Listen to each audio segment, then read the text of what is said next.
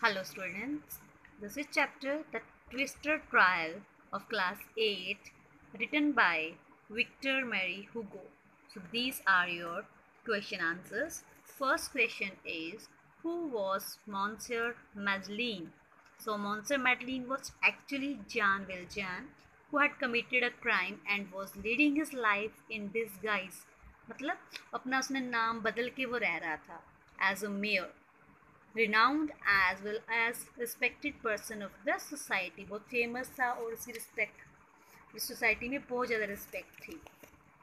Question number two on what charges was Champmathieu being convicted तो Champmathieu पे कौन कौन सा ब्लेम लगा था? मतलब कौन से चार्जेस लगे थे उसके ऊपर? उसको क्यों अरेस्ट किया गया था? Okay so Champmathieu was identified by all the witnesses at Jean Valjean okay so and was being accused for theft तो चाहे मैथ्यू को सभी ने आइडेंटिफाई कर दिया सभी गवाहों ने विटनेसेस होते, गवाह कि वो जान वेल जान है बट वो जान विल जान नहीं था, वो उसकी तरह दिखता था और उसके ऊपर कौन सा आरोप लग गया?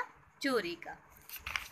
Champmathieu was identified by identified as Janwal Jan by all the witnesses and he was likely to be pronounced guilty what brought a twist in the trial तो जब उसको पनिशमेंट मिलने ही लगी थी उसको सज़ा मिलने ही लगी थी तो केस में क्या ट्विस्ट आया ठीक है तो क्या ट्विस्ट आया तभी जो वहाँ पे जो केस जो स्पेक्टेटर्स बैठे थे उस केस को सुनने के लिए उनमें से एक बंदा खड़ा हुआ और उसने ज्यूरी को बताया दैट इंडेड ही वॉज़ जान वेलजान असल में वो जान वेलजान है and this brought a twist in the trial okay तो this is your this question this is your third question it's your third question okay next one is fourth why did Monsieur Madeleine confess in front of the jury? Jury के सामने उसने क्यों confess किया?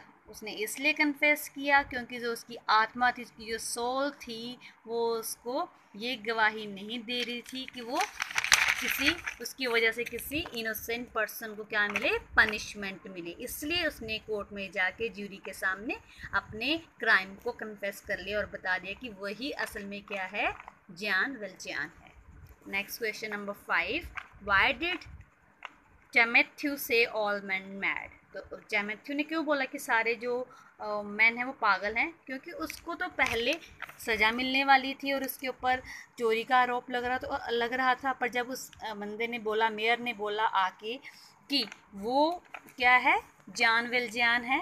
तो जब उसको छोड़ दिया गया तो उसने सोचा कि सारे जो इन, जो मैन हैं वो क्या हैं? पागल हैं, कि पता नहीं उसको क्यों अरेस्ट कर लिया था और उसके ऊपर ऐसे ब्लेम लगाए जा रहे थे ओके